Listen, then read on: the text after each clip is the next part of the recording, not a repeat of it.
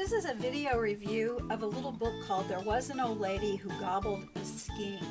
And this book is from Sky Pony Press, which is an imprint of Skyhorse Publishing. And you'll notice that this book is really pretty sturdy. I like all of Sky Press, uh, Sky Pony Press's books. The hardcover books really sturdy, nice hardcovers, but yet they're um, you know, colorful illustrations, that kind of thing.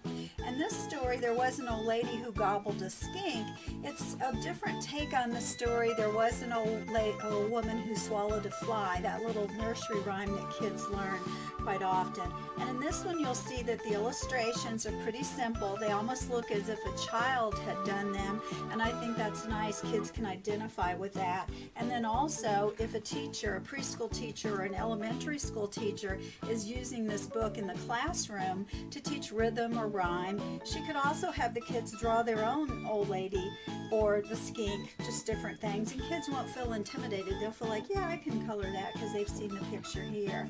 But it's just got uh, a variety of one single page uh, illustrations and then double page spreads you'll see too where sometimes the illustration goes over two pages. So that makes it nice they can open it up. And when a teacher's reading a book like this aloud to students you see double pages like this and it's easier for kids in the back of the uh, you know room or the back of the crowd that's a little gathered around her to see the illustrations.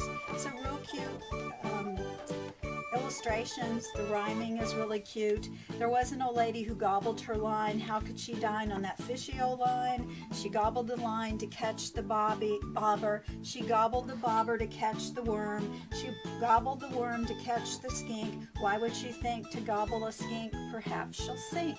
So it just goes on and on like that with all these little rhymes and illustrations until you get to the end. And I won't tell you the entire end because I think you need to see it for yourself.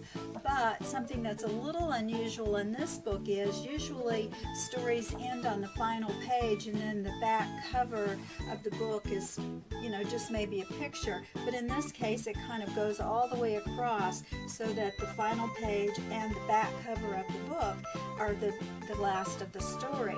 So it's a really cute little book. There was an old lady who gobbled a skink. If you use our link, you can just purchase it at Amazon.com. And I want to remind you, if you purchase it at Amazon and you are an Amazon Prime member, then you can get it shipped for free. So that's a good reason to join Amazon Prime and then also to order the books from Amazon. So again, there was an old lady who gobbled a skink, a nice little book from Sky Pony Press.